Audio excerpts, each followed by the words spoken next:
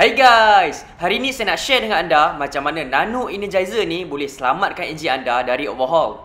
Sebelum tu anda kena faham dulu apa sebab anda nak overhaul.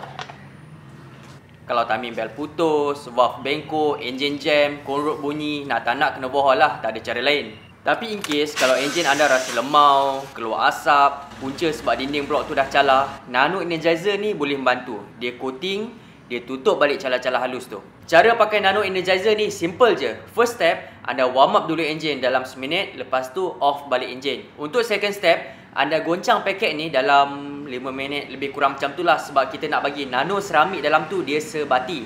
Untuk third step, anda tuang ke dalam enjin, lepas tu drive je lah macam biasa. Untuk prestasi yang terbaik, lagi cantik kalau anda tukar sekali dengan minyak hitam ataupun mileage minyak hitam yang sedia ada sekarang ni tak lebih daripada 3000 km. Okey, dia ada mention keberkesanan coating ni start seawal 50 ke 100 km bergantung pada cara pemaduan anda masing-masing lah dan efek full coating seawal 500 ke 1000 km untuk enjin petrol, 1000 ke 1500 km untuk enjin diesel manakala 100 ke 300 km untuk motor. Ha, motor pun boleh pakai juga sembang itu bagus, ini bagus. Tak best lah kan kalau tak ada bukti. Okey, sekarang jom kita ukur dulu berapa tahap karbon monoksida yang dihasilkan dan berapa desibel bunyi BC engine. Ada tak perubahan sebelum dengan selepas kita pakai nano energizer ni? Okey, bunyi engine sebelum kita tuang nano energizer ni, kalau kita ambil dia punya bacaan purata lebih kurang dalam uh, berapa eh? Ni 7776. Kita boleh ambil dekat 76.5 desibel. Okey, 76.5 desibel eh. Ini adalah sebelum kita tuang nano energizer. Alright.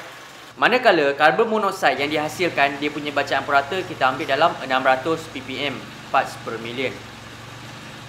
Sebelum tuang jangan lupa eh anda goncang dulu paket ni dalam 5 minit macam itulah sampai anda rasa tak ada dah keras-keras dekat tepi ni. Yang keras-keras ni lah nano seramik anda goncang bagi dia sebati. Anda goncang sampai tak ada keras dah dekat tepi ni. Lepas tu kita tuang terus ke dalam enjin.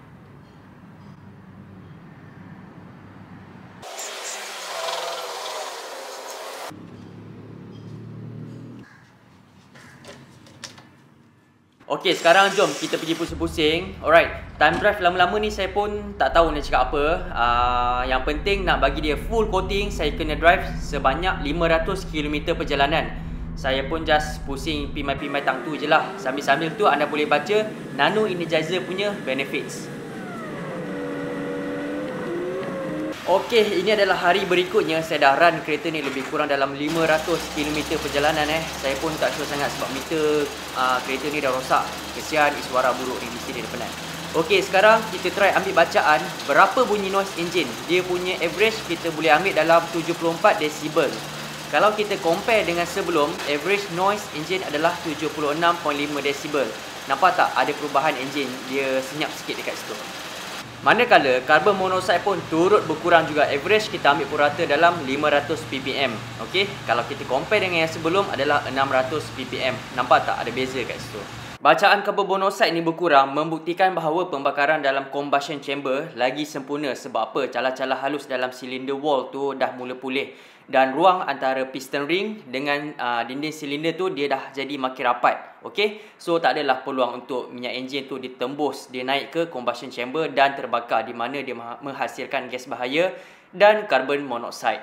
Okey, so anda dah nampakkan perbezaan sebelum dan selepas kita pakai nano energizer ni dan kalau anda nak tahu coating dia boleh tahan sampai 40000 ke 50000 km mileage ataupun bersamaan dengan 5 kali tukar minyak hitam. Pada kereta anda yang ada tanda-tanda blok calar tu, enjin lemau, keluar asap, makan minyak hitam, apa kata anda ikhtiar dulu buat benda yang murah dulu. Try dulu nano energizer ni. Kalau okey, okeylah. Kalau tak okey, benda ni tak adalah mahal sangat. Pada anda yang berminat untuk dapatkan nano energizer ni, ada tekan je link yang saya dah sediakan dekat bawah. Okeylah. Semoga video ni bermanfaat. Kita jumpa lagi dalam DIY seterusnya.